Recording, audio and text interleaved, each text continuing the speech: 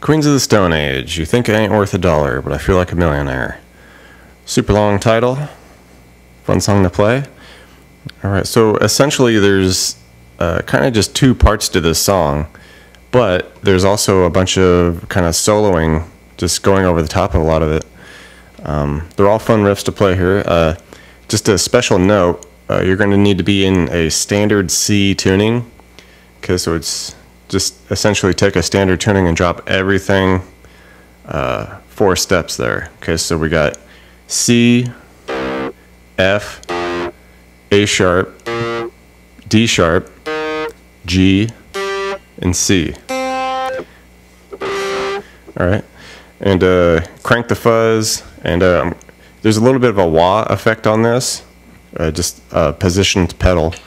Um, I'll leave you a link for everything, all the effects I'm using in the description. You can check that out. Uh, also, hit that subscription button, help out the channel, that'd be awesome. So I'll jam through all the different parts for you here, and then at the end, I'll go back through them all and give you all the uh, details with the walkthrough and let you know what's going on. All right, so uh, let's get into this. Here we go.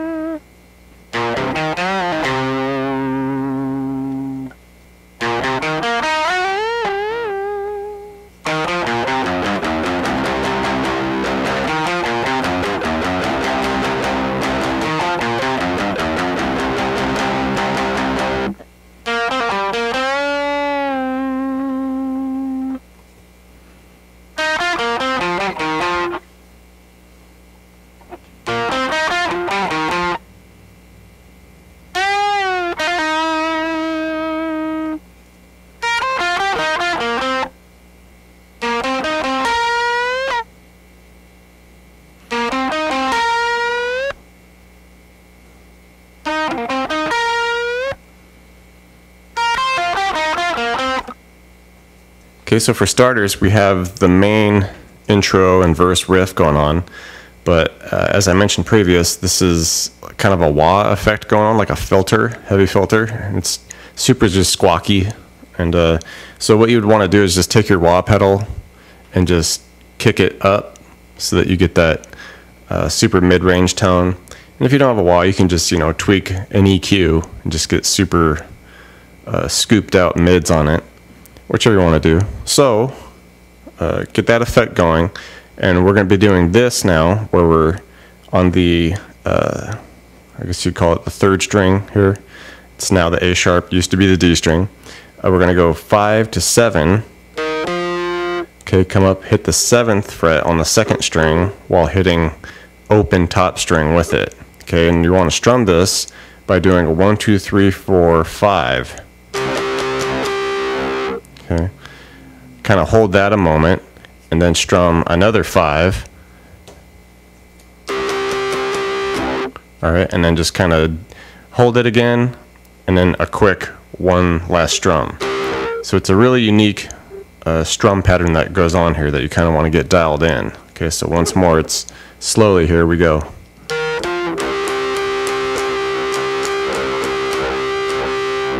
Okay, one, two, three, four, five. One, two, three, four, five, one.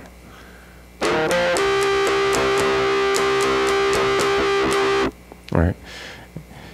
Okay, so we just rock on that for a while. The drums are going, and uh, eventually it just all kicks off the uh, filter effect and just blasts into the regular verse. So let me just play, you know, how it sounds with the filter up to tempo here.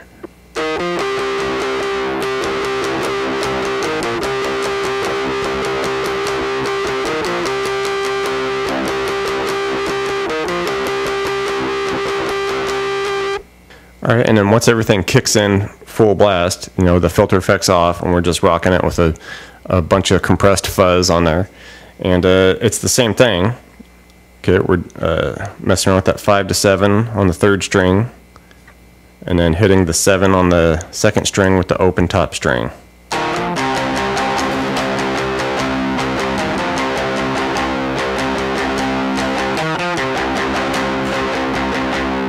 All right, and now we can mix in uh, some new elements. This here we're going to do, uh, once we get through it, you know, a few times, towards the end of it now, we're going to mix this in where we go 7, 5, 7 on the second string, do a 7 to 5 on the third string, and then come up and hit our uh, 7 on the second string with the open top strings, that strum again. Okay, so it's just a quick little thing that gets mixed in there. It's something like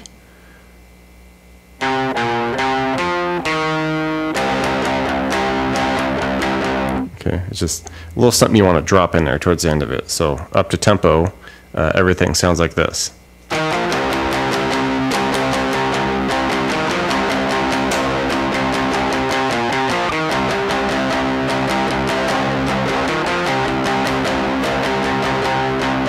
Okay, now we'll get to our second riff. Pretty basic. We're just going to come up and hit 5th fret on the top string with a 7 on the second string. Just do three strums there. Okay, then we come down two frets to the uh, third fret top string, fifth fret on the second string, and then we just rock this for the remainder of the measure. All right, and just repeat that.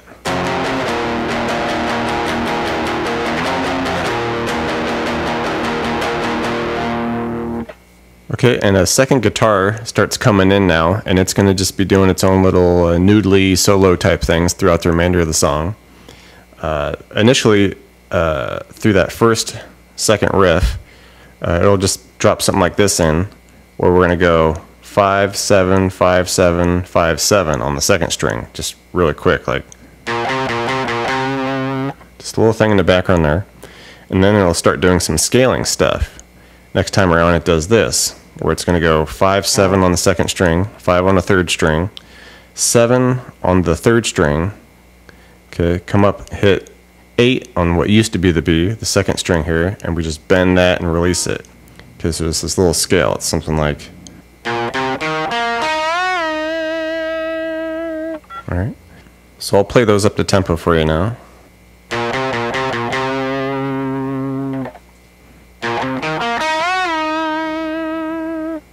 Okay, and once we get to this second riff, the second time around, later on in the song, uh, we kind of switch up what the second guitar is during uh, during those sections. Uh, initially, he just throws in a, a, variant here where we're going 5-7 on the second string, 5-7 on the third string, give it a little bend, come off to the 5, all right, and then end up on the 7 of the second string. So it's something like this little bluesy thing there. All right, and the second time around, it does essentially that same scale we did at the end of the first one, but once we get to that uh, 8 on the second string here, we slide that up to 12 and we give that a couple of bend and releases. Okay, so slowly it's something like this. Okay, that type of deal. All right, so now let me just play these up to speed for you.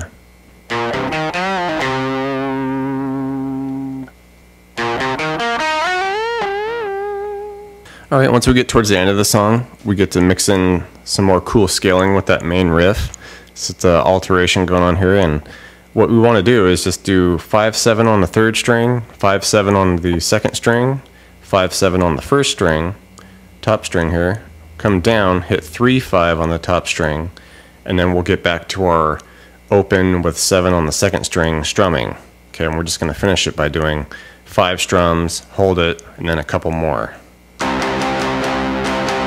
okay, something like that. So slowly, just to hear the sounds, something like.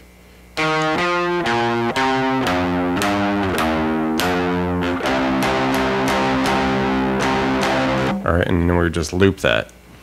All right, so just get it up to speed for you.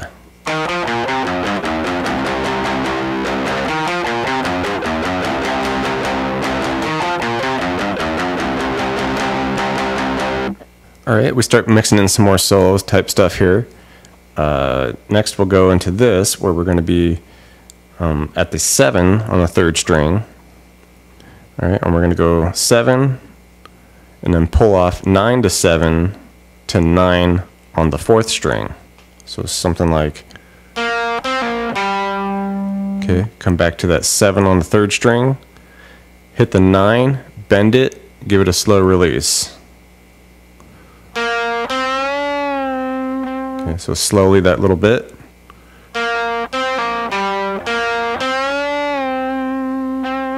All right. And then the next section uh, is the beginning of a couple second sections that just get interchanged and you can just mix them in how, how you want. The first bit is just kind of this harmonized voicing of that uh, alteration of the main riff. All right, just that weird, you know, scale, obvious, blatant type scale sound. All right, so it's going to be on the second string here, we go 8 to 10, we go 7 to 9 on the third string, 7 to 9 on the fourth string, come down, hit 5 to 7 on the fourth string. So slowly it's.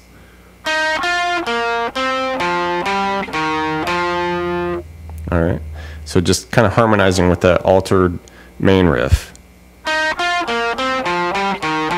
All right, and the next part of this is essentially those same notes. We just kind of jumble them up a little bit just for grins and giggles. So it's something like uh, 7 9 on the third string, do the 8 to 10 on the second string.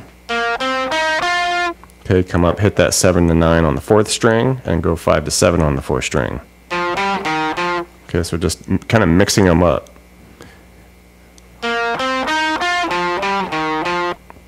All right, and like I said, you can take this one or the previous one and just kind of lace them in there however you however you feel because it's all just like the same notes. We're just uh, having fun with it. All right, and uh, at this point, after we play with that for a while, the second riff comes in again, and you get this little bit of soloing happening. All right, so we'll have the 10 on the second string, give it a bend, slow release.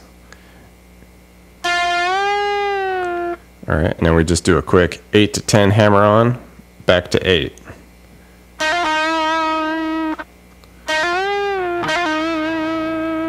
Okay, and then we can add this higher voiced uh, harmonized scale with the altered main riff. All right, we're going to be 10 to 12 on the first string, 10 to 12 on the second, 8 to 10 on the second, and then finish with 7 to 9 on the third string. We'll see this again at the very end of the song.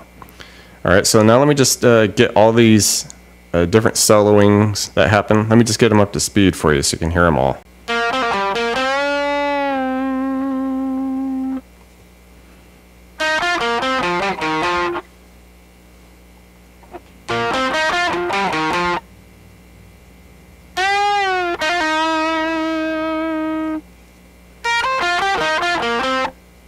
All right, and the ending solo here, it's kind of just a, a repeating riff that happens really. Uh, we're going to be up here, we're going to go okay, 12 to 14 here on uh, what used to be the D string, okay, third string there from the top. Go there, we go 12 on the third string from the bottom here, it used to be the G. Okay, hit the 14 on the, what was the D. Bend 15 on the second string from the bottom there. It used to be the B. Okay, so. Alright, and that just repeats for a you know good chunk of time there. And uh, at the very end, once that second riff comes in, uh, and we're just basically wrapping up the song, we just do a, a little variation of that, what we've been doing. We'll go 12 to 14 on the old D string there, 12 on what was the G, and then we do a 14 12 on the old D string. It's just a slight little change. And then bend that 15 on uh, what was the B, now the G. Okay. Okay, just a little change there. And then, uh, as I mentioned previous, we're going to end with that higher voiced uh, descending scale. The 10 12 E was the uh, 10 12 on the second string, 8 to 10, 7 to 9 on the third string. All right, and then the song just cuts there. All right, so I'll just do these all up to speed for you here.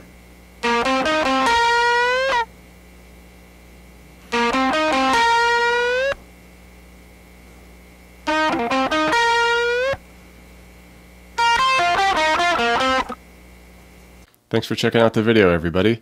Like it, share it, leave a comment. It's always good to hear from you. Um, do me a favor and hit the subscription button. I put out a video pretty frequent, so you don't want to miss out on that. Uh, check out the links in the description box below. I have really cool links for uh, tablature books, all the gear I use, t-shirts, fun stuff like that. So thank you very much, and we'll see you next time.